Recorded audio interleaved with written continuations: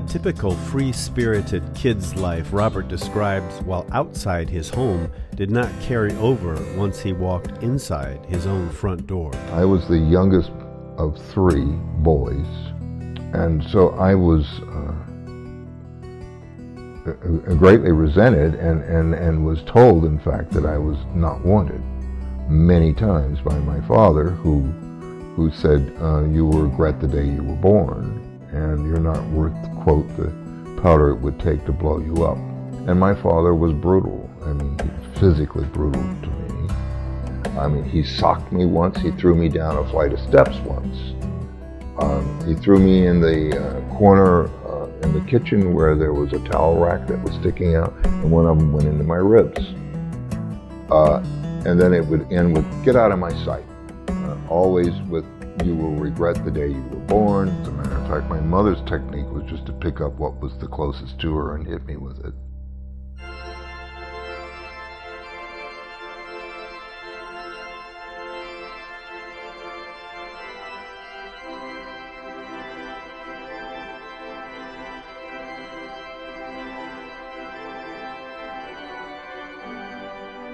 Bobby Singleton found comfort a block away from his Williamsburg, Virginia home Intoxicated by the majestic sound of classical organ and piano, he walked to nearby Bruton Parish Church just to hear the organist play.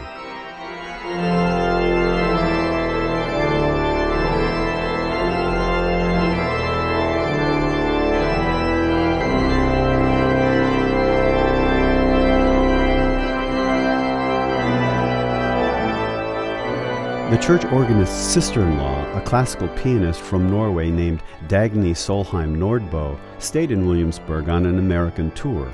Bobby listened to her rehearse, transfixed. He got the chance to learn from this master and later to sit beside the organist and turn pages of the score as notes cascaded into the stately church.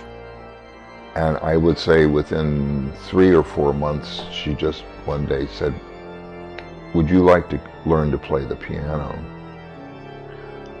Well, yeah, of course I would. And she called me up, and I sat down next to her, and here were these beautiful ivory keys, and I just touched one key, and then it was a sound that just resonated. It literally resonated right through me.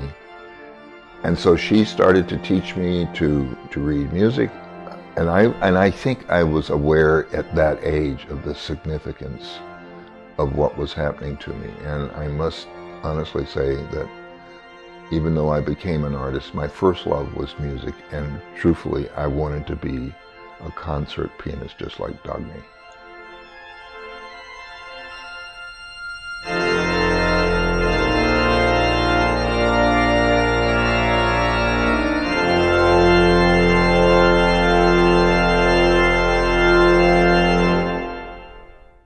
At home, it took effort to hear the classical music that soothed him.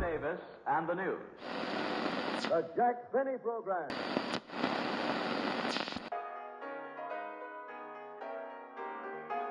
Music, classical music, never, never was heard in that home. Uh, if I wanted to hear music as a kid, I would go out to the family car on Sunday afternoon and turn on the radio and uh, there would be uh, classical concerts. I didn't know what the music was. I just knew it was different and it was something that spoke to me. It was a language that I understood.